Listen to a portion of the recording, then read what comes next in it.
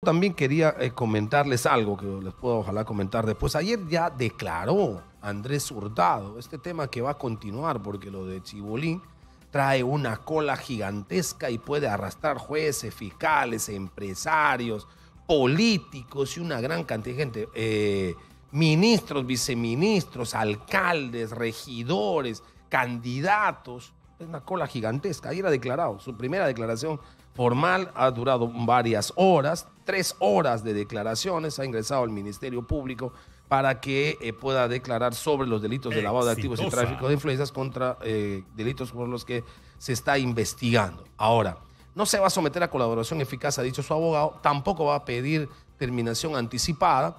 Eh, sin embargo, hoy es decisivo para Chibolí porque hoy culmina su detención preliminar. Se había establecido en siete días y hoy termina la detención preliminar. ¿Qué puede ocurrir?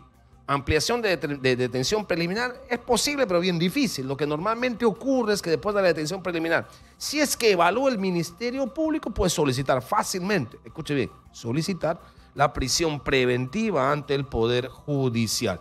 Veremos, porque vuelvo a insistir, hoy este es un tema eh, decisivo para Andrés Hurtado. Son las 7 de la mañana con 44 minutos.